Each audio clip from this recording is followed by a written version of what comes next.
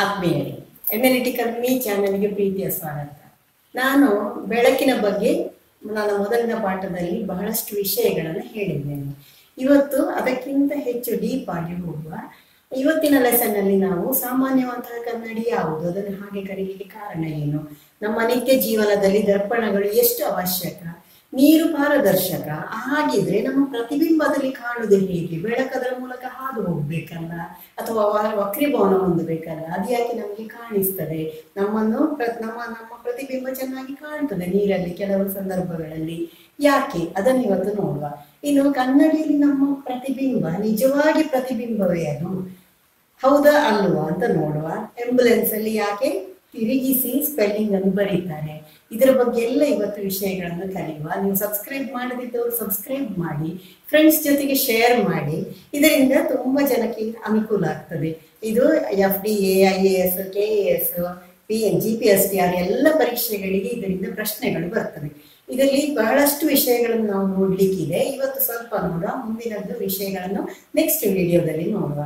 ಇವತ್ತು ಹಾಗಾದ್ರೆ ನಾವು ಏನೇನು ನೋಡ್ಬೇಕೀಗ? ಬೆಳಕಿನ ಗುಣಲಕ್ಷಣಗಳನ್ನು ನೋಡುವ. ಇದರಲ್ಲಿ ಬೆಳಕು ಸರಳ ರೇಖೆಯಲ್ಲಿ ಚಲಿಸ್ತದೆ ಅಂತ. ಬೆಳಕು ಸರಳ ರೇಖೆಯಲ್ಲಿ ಚಲಿಸ್ತದೆ ಅಂತ ನಾವು ಬಹಳ ಸುಲಭವಾಗಿ ಹೇಗೆ ನೋಡ್ಬೋದು? ಎರಡು ಕೊಳವೆಗಳನ್ನು ತಗೊಳ್ಳಿ. ಒಂದು ನೇರ ಕೊಳವೆ, ಇನ್ನೊಂದು ಬೆಂಡಾದ ಕೊಳವೆಯನ್ನು ತಗೊಳ್ಳಿ.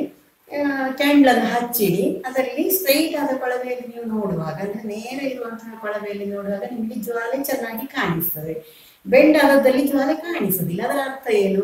ಅಲ್ಲಿ ಬೆಳಕು ನೇರವಾಗಿ ಹಾದು ಬರಲಿಲ್ಲ ಅಂತ ಅರ್ಥ ಆಯ್ತಾ? ಹಾಗಾಗಿ ಬೆಳಕು ಸರಳ ರೇಖೆಯಲ್ಲಿ ಚಲಿಸ್ತದೆ ಇದು ಅರ್ಥ ಮಾಡ್ಕೊಳ್ಳಿ. ಇನ್ನು ಆಂಬುಲೆನ್ಸ್ ವಾಹನದಲ್ಲಿ ಯಾಕೆ ತಿರುಗಿಸಿ ಬರೀತಾರೆ ಅಂತ ಪ್ರಶ್ನೆ ಕೇಳಿದೆ ಅಲ್ವಾ? ಏನಾಗ್ತದೆ? ಆಂಬುಲೆನ್ಸಿನ ಮುಂದೆ ಇರುವಂತಹ ವಾಹನದಲ್ಲಿ ಹೋಗ್ತಾ ಇರುವ ಚಾಲಕ ಆಂಬುಲೆನ್ಸಿಗೆ ದಾರಿ ಕೊಡಬೇಕು ಅಲ್ವಾ? ಇದು ಉಲ್ಟ ಇರುವ ಕಾರಣ ಅವನಿಗೆ ಅವನ ಸೈಡ್ ಮಿರರ್ ಅಲ್ಲಿ ಅದು ಕರೆಕ್ಟ್ ಆಗಿ ಅದು ಏನು ಆಂಬುಲೆನ್ಸ್ ಅಂತೇಳಿ ಸ್ಪೆಲ್ಲಿಂಗ್ ಕಾಣ್ತದೆ. ಅವನು ಬಹಳ ಬೇಗನೆ ಬದಿಗೆ ಹೋಗಿ ದಾರಿ ಕೊಡಲಿಕ್ಕೆ ಸುಲಭ ಆಗ್ತದೆ. ಅದೇ ಉಲ್ಟ ಇದ್ದಿದ್ರೆ ಅವನಿಗೆ ಅಂದ್ರೆ ಸರಿಯಾದ ರೀತಿಯಲ್ಲಿ ಬರೀತಿದ್ರೆ ಅವನಿಗೆ ಉಲ್ಟ ಕಾಣ್ತದೆ. ಹಾಗಾಗಿ ನೋಡಿ ಇಲ್ಲಿ ನಾನು ಚಿತ್ರದಲ್ಲಿ ಕೂಡ ತೋರಿಸಿದ್ದೇನೆ. ಯಾವ ರೀತಿ ಅವನಿಗೆ ಆಂಬುಲೆನ್ಸ್ ಅಂತ ಕರೆಕ್ಟ್ ಆಗಿ ಸ್ಪೆಲ್ಲಿಂಗ್ ಕಾಣ್ತದೆ ನೋಡಿ. ವಾಹನದಲ್ಲಿ ತಿರುಗಿಸಿ ಬರ್ತ ಕಾರಣ ಅವನಿಗೆ ಅದು ಸರಿಯಾಗಿ ಕಾಣಿಸುವುದು. ಅರ್ಥ ಆಯ್ತಲ್ಲ ಯಾಕೆ ಅಂತ? ಇದು ಕೆಲವು ಪರೀಕ್ಷೆಗಳಿಗೆ ಕೇಳಿದಂತಹ ಪ್ರಶ್ನೆ ಇದು.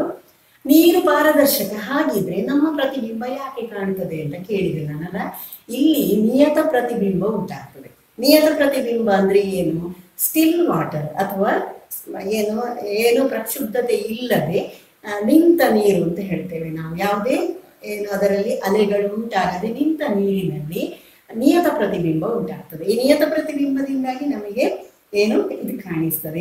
ನಮ್ಮನ್ನು ನಾವು ನೋಡ್ಲಿಕ್ಕೆ ಆಗ್ತದೆ ಏನಿದು ನಿಯತ ಪ್ರತಿಬಿಂಬ ಅಂದ್ರೆ? ಅದನ್ನು ನೋಡುವ ಮೊದಲು ನಾವು ಪತನ ಕಿರಣ, ಪ್ರತಿಫಲಿತ ಕಿರಣ ಇದನ್ನೆಲ್ಲ ನಾವು ನೋಡಿದ್ರೆ ನಮಗೆ ಸ್ಪಷ್ಟತೆ ಇರ್ತದೆ. ಪತನ ಕಿರಣ ಅಂದ್ರೆ ಏನು? ಒಂದು ಮೇಲ್ಮೈಯ ಮೇಲೆ ಬೀಳುವಂತಹ ಬೆಳಕಿನ ಕಿರಣವನ್ನೇ ನಾವು ಪತನ ಕಿರಣ ಅಂತ ಹೇಳ್ತೇವೆ. ಮೇಲ್ಮೈಯ ಮೇಲೆ ಒಂದು ಆಕಾರದಿಂದ ಬರುವಂತಹ ಕಿರಣ ಯಾವುದಿದೆ? ಅದನ್ನು ಪತನ ಕಿರಣ ಅಂತ ಕರಿತೇವೆ, ಅಥವಾ ಇನ್ಸಿಡೆಂಟ್ ರೇ ಅಂತ ಕರಿತೇವೆ. ಪ್ರತಿಫಲಿತ ಕಿರಣ ಅಥವಾ ರಿಫ್ಲೆಕ್ಟೆಡ್ ರೇ ಅಂದ್ರೆ ಏನು? ಇದು ನಾವು ಒಂದು ಮೇಲ್ಮೈಗೆ ಪ್ರತಿಫಲಿಸ್ ಮೇಲ್ಮೈಗೆ ಬಿದ್ದು ಬೆಳಕು ಪ್ರತಿ- ಪ್ರತಿಫಲಿಸ್ತದಲ್ಲ? ಇದನ್ನೇ ಪ್ರತಿಫಲಿತ ಕಿರಣ ಅಥವಾ ರಿಫ್ಲೆಕ್ಟೆಡ್ ರೇ ಅಂತ ಕರೆಯೋದು ವಿಶೇಷ ಏನು? ಇಲ್ಲ, ಪತನ ಕಿರಣ, ಪ್ರತಿಫಲಿತ ಕಿರಣ. ಗೊತ್ತಾಯ್ತು ನಿಮಗೆ? ಪತನ ಕಿರಣ ಮತ್ತು ಪ್ರತಿಫಲನ ಕಿರಣ ಉಂಟಾಗ್ತದಲ್ಲ? ಪ್ರತಿಫಲಿತ ಕಿರಣ. ಅದರ ಮಧ್ಯದಲ್ಲಿ ಅದೊಂದು ಮೇಲ್ಮೈಗೆ ಟಚ್ ಆಗಿರ್ತದಲ್ಲ? ಅಲ್ಲಿ ಒಂದು ಲಂಬವನ್ನು ಎಳಿಬೇಕು ಮೇಲ್ಮೈಗೆ. ಆಗ ನಿಮಗೆ ಯಾವುದು ಸಿಗ್ತದೆ?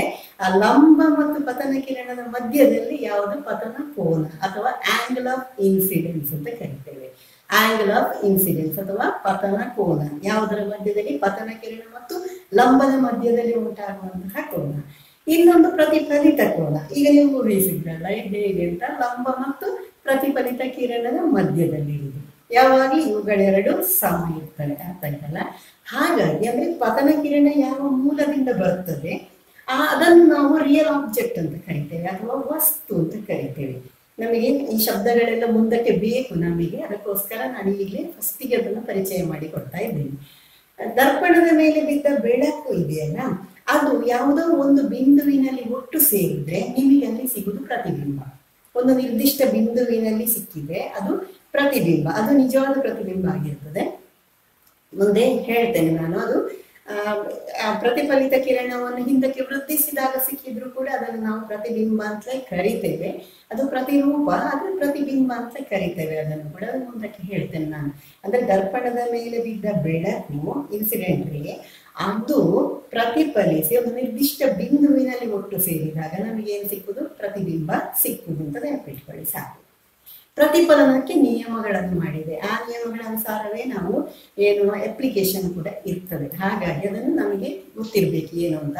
ಪತನ ಕೋನ ಯಾವುದು? ಇನ್ಸಿಡೆಂಟ್ ರೇ ಮತ್ತು ಮಧ್ಯದಲ್ಲಿ ನಮ್ಮ ಇದೆಯಲ್ಲ, ಅದರ ಮಧ್ಯದ ಕೋನ.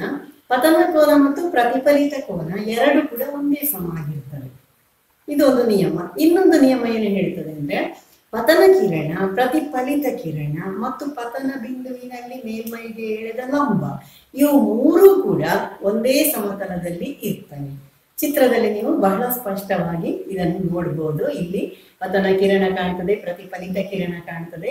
ಮಧ್ಯದಲ್ಲಿ ನಾರ್ಮಲ್ ಅಥವಾ ಲಂಬವನ್ನು ಎಳೆದಿದೆ. ಈ ಲಂಬ ಮತ್ತು ಪತನ ಕಿರಣದ ಮಧ್ಯದಲ್ಲಿ ಪತನ ಕೋನ ಪ್ರತಿಫಲಿತ ಕೋನ ಮತ್ತು ಲಂಬದ ಮಧ್ಯದಲ್ಲಿ ಇರೋದು ಯಾವುದು? ಪ್ರತಿಫಲಿತ. ಕ್ಲಿಯರ್ ಆಯ್ತಲ್ಲ ನಿಯತ ಪ್ರತಿಫಲನ ಅಂತ ಆಗ ನಾನು ಹೇಳಿದೆ ಅಲ್ಲ, ನಿಯತ ಪ್ರತಿಫಲನ ಉಂಟಾಗ್ತದೆ. ಹಾಗಾಗಿ ನಾವು ನೀರಿನಲ್ಲಿ ಇಮೇಜ್ ನೋಡ್ತೇವೆ ಅಂತ ಹೇಳಿದೆ. ಏನಿದು ನಿಯತ ಪ್ರತಿಫಲನ ಅಂದ್ರೆ? ಅದು ಸ್ಟಿಲ್ ನೀರು ಅಥವಾ ಏನು ಯಾವುದೇ ಅಲೆಗಳು ಉಂಟಾಗದೆ ಇದ್ದಂತಹ ನೀರು, ನಿಂತ ನೀರು. ನಿಂತ ನೀರಿನಲ್ಲಿ ಏನಾಗ್ತದೆ? ಅದು ಮಿರರಿನ ಹಾಗೆ ವರ್ತಿಸ್ತದೆ ಅಥವಾ ಕನ್ನಡಿಯ ಹಾಗೆ ವರ್ತಿಸ್ತದೆ. ಕನ್ನಡಿಯ ಹಾಗೆ ಅಂದ್ರೆ ಏನು? ಅಲ್ಲಿ ಬಿದ್ದಂತಹ ಸಮಾಂತರದ ರೇಖೆಗಳ ಹಾಗೆ ಬಿದ್ದಂತಹ ಬೆಳಕು ಇದೆಯಲ್ಲ, ಅದು ಅದೇ ರೀತಿಯೇ ಪ, ಪ್ರತಿಫಲಿತ ಆಗಿ ಹೊರಗಡೆಗೆ ಹೋಗ್ತದೆ. ಹಾಗಾಗಿ ನೀವು ನಮಗಲ್ಲಿ ಪ್ರತಿಬಿಂಬ ಕಾಣಿಸಲು.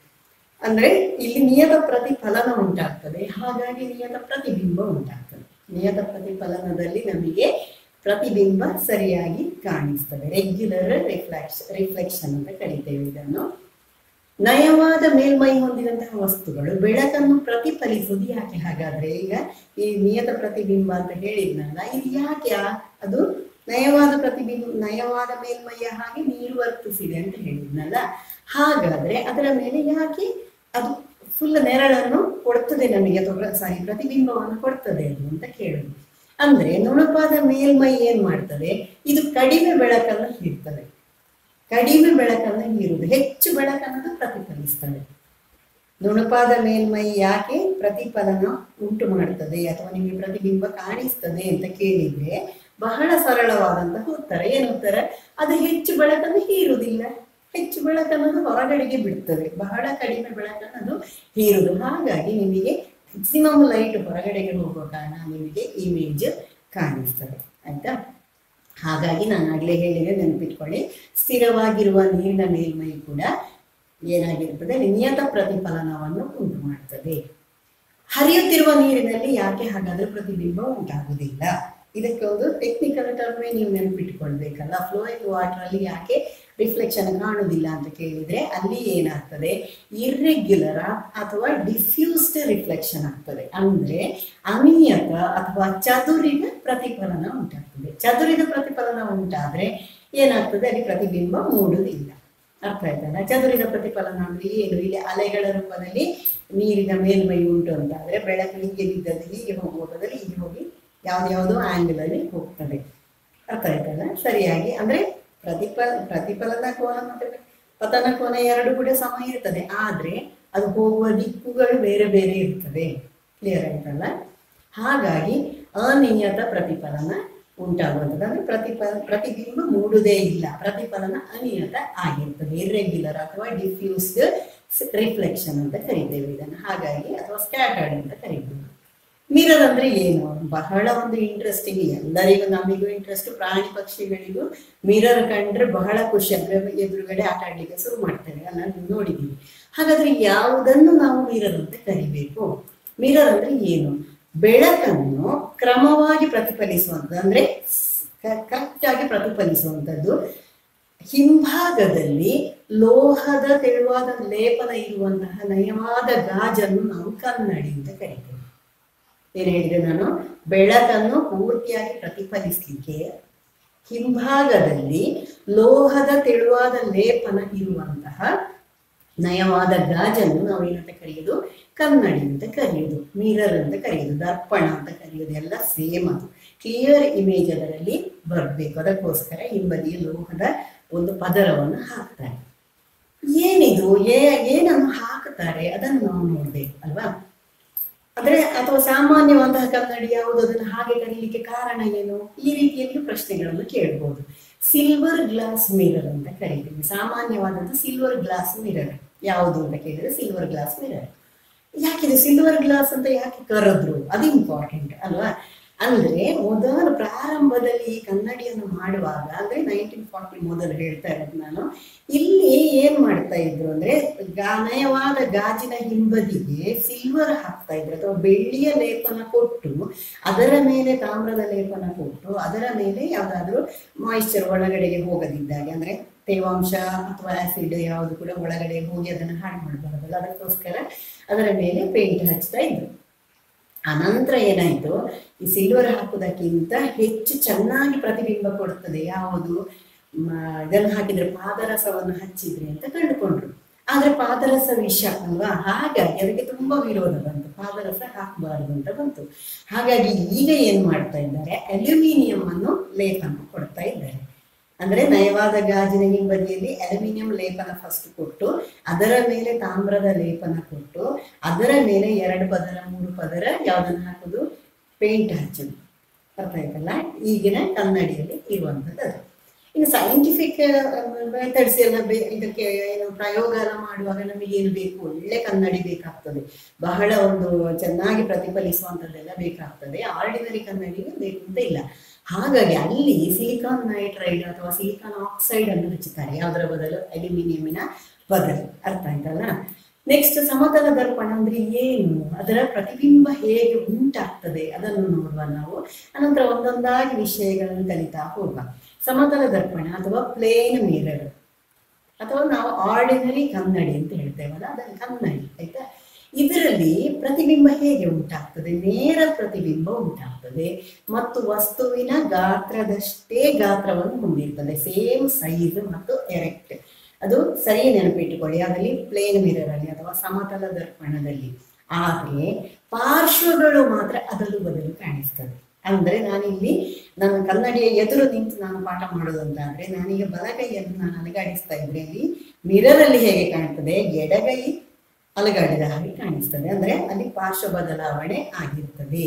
ಇದನ್ನೇ ನಾವು ಏನಂತ ಕರಿತೇವೆ ತಲೆಕೆಳಗಾಗಿರುವುದಿಲ್ಲ ಚಿತ್ರ ಅಥವಾ ಪ್ರತಿಬಿಂಬ ತಲೆಕೆಳಗಾಗಿರುವುದಿಲ್ಲ, ಆದ್ರೆ ಅದಲು ಬದಲಾದ ಹಾಗೆ ನಮ್ಮ ಏನು ಪಾರ್ಶ್ವಗಳು ಅದಲು ಬದಲಾದ ಹಾಗೆ ಕಾಣಿಸ್ತದೆ. ಸೈಜ್ ಮಾತ್ರ ಆಚೆ ಈಚೆ ಚೇಂಜ್ ಆದ ಹಾಗೆ ಕಾಣುದು. ಹಾಗಾಗಿ ಇದನ್ನು ಏನಂತ ಕರೀತಾರೆ? ಪಾರ್ಶ್ವ ವಿಪರ್ಯಾಸ.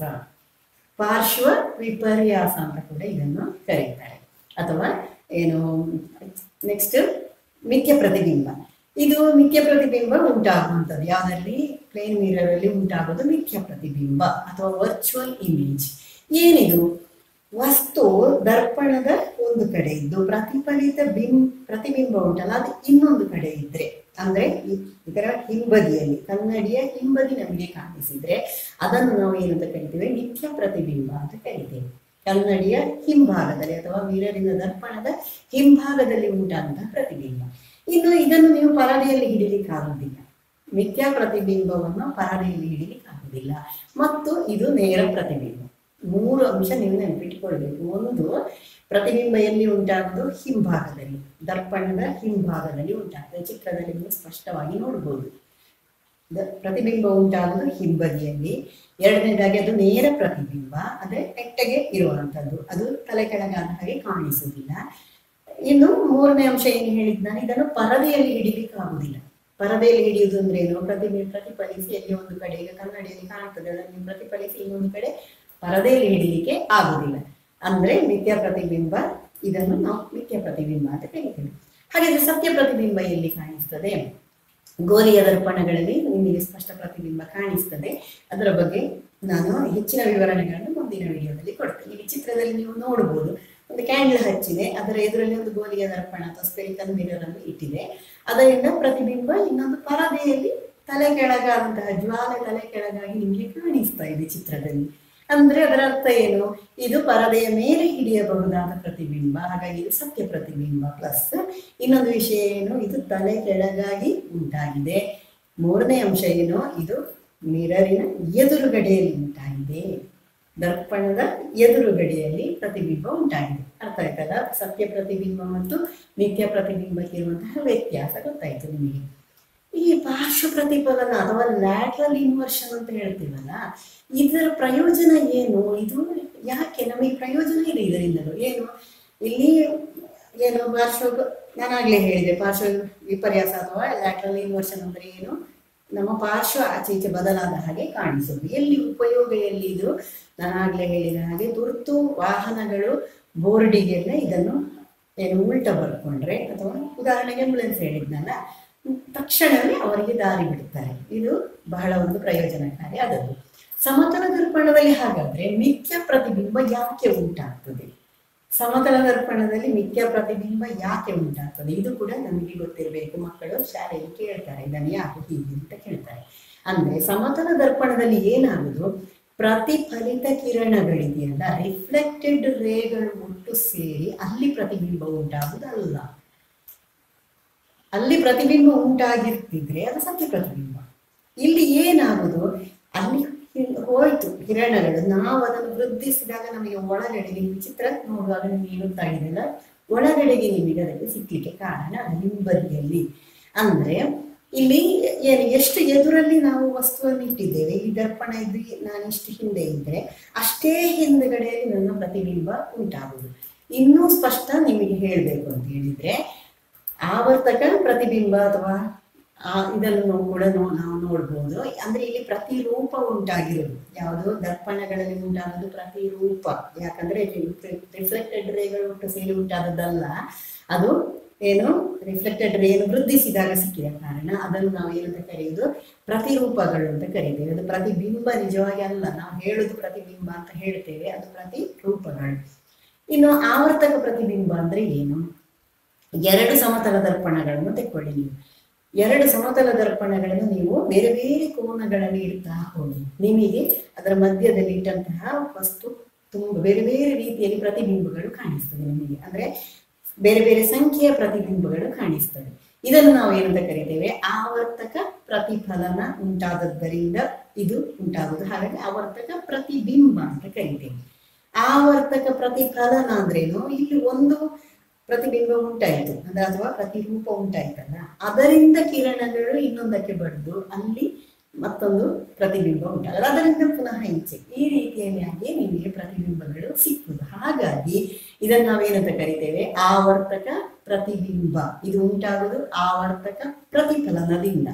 ಮಲ್ಟಿಪಲ್ ಇಮೇಜಸ್ ಎರಡು ಸಮತಲ ದರ್ಪಣಗಳನ್ನು ಜೋಡಿಸಿದಾಗ ಎಷ್ಟು ಆಗ್ತದೆ ಎಷ್ಟು ಪ್ರತಿಬಿಂಬ ಕಾಣಿಸ್ತದೆ ಅದನ್ನು ನಾವು ಲೆಕ್ಕಾಚಾರ ಮಾಡಬಹುದು ಮತ್ತು ನೀವು ಪ್ರಾಯೋಗಿಕವಾಗಿ ನೀವು ಮಾಡಿ ನೋಡಬಹುದು ಪ್ರತಿಬಿಂಬಗಳ ಸಂಖ್ಯೆ ಸಮ ಮುನ್ನೂರ ಅರವತ್ತು ಡಿಗ್ರಿ ಭಾಗಿಸು ದರ್ಪಣಗಳ ನಡುವಿನ ಕೋನ. ನೀವು ಎಷ್ಟು ಕೋನದಲ್ಲಿ ಅದನ್ನು ಇಟ್ಟಿದ್ದೀರಿ ಆ ಕೋನದಿಂದ ಭಾಗಿಸಿದ್ರೆ ಆಯ್ತು. ಮೈನಸ್ ಒಂದು ಮಾಡಿಬಿಟ್ರೆ ನಿಮಗೆ ಪ್ರತಿಬಿಂಬಗಳ ಸಂಖ್ಯೆ ಸಿಗ್ತದೆ. ನೀವೇ ಪ್ರಯೋಗ ಮಾಡಿ ನೋಡಿ ಇದನ್ನು ಕನ್ಫರ್ಮ್ ಮಾಡ್ಬೋದು. ಆ, ನಾನು ಕೆಲವೊಂದು ನಿಮಗೆ ಮಾಡಲಿಕ್ಕೆ ಹೇಳಿದೆ. ತೊಂಬತ್ತು ಡಿಗ್ರಿ ಕೋನದಲ್ಲಿ ನೀವು ಎರಡು ಸಮತನ ದರ್ಪಣವನ್ನು ಇಟ್ಟರೆ ನಿಮಗೆ ಮೂರು ಪ್ರತಿಬಿಂಬ ಸಿಗ್ತದೆ.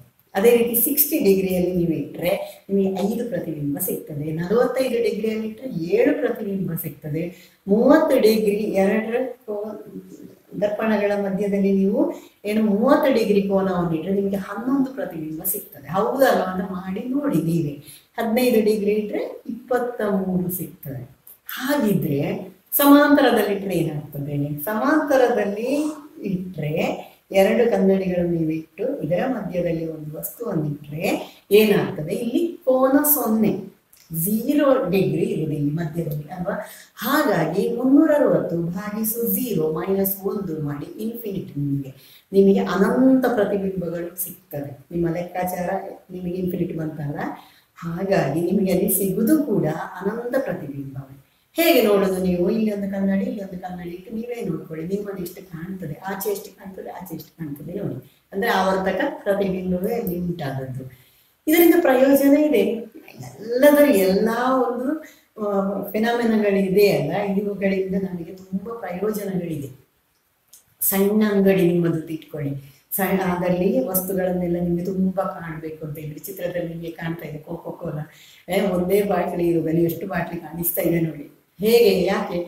ಎದುರೆದುರಿಗೆ ಎರಡು ಕನ್ನಡಿಯ ಮಧ್ಯದಲ್ಲಿ ಅದನ್ನು ಇಟ್ಟದ್ದು ನಮಗೆ. ನಾವು ಮಧ್ಯದಲ್ಲಿ, ಆಚೆಗೆ ನೋಡಿದ್ರೆ ನಮ್ಮನ್ನು ಅಷ್ಟೇ ಕಾಣ್ತದೆ, ಅಷ್ಟೇ ವಸ್ತುಗಳು ಇದರಲ್ಲಿ ಇನ್ನು ಚಿನ್ನದ ಅಂಗಡಿಯಲ್ಲೆಲ್ಲ ನಿಮ್ಗೆ ಒಬ್ಬ ಎಷ್ಟು ದೊಡ್ಡದು ಅಂತ ನಿಮಗೆ ಅನ್ನಿಸ್ಲಿಕ್ಕೆ ಬೇಕಾಗಿ ಅವ್ರು ಏನ್ ಮಾಡ್ತಾರೆ ಮೈದೂರಿನ ಗೋಡೆಗೆ ಒಂದು ಚಂದ ಮಾಡಿ ಮಿರರ್ ಅನ್ನು ಹಾಕಿರ್ತಾರೆ ಪ್ಲೇನ್ ಬೇಕು, ಹಿಂಬದಿಗೂ ಇರ್ತದೆ.